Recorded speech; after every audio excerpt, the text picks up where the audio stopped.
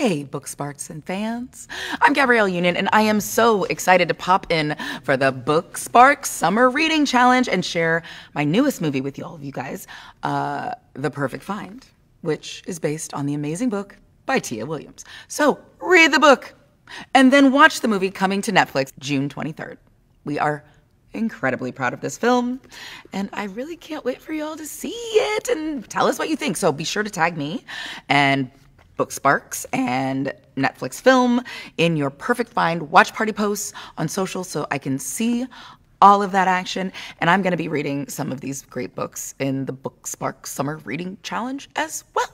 So thank you all and happy summer reading and watching.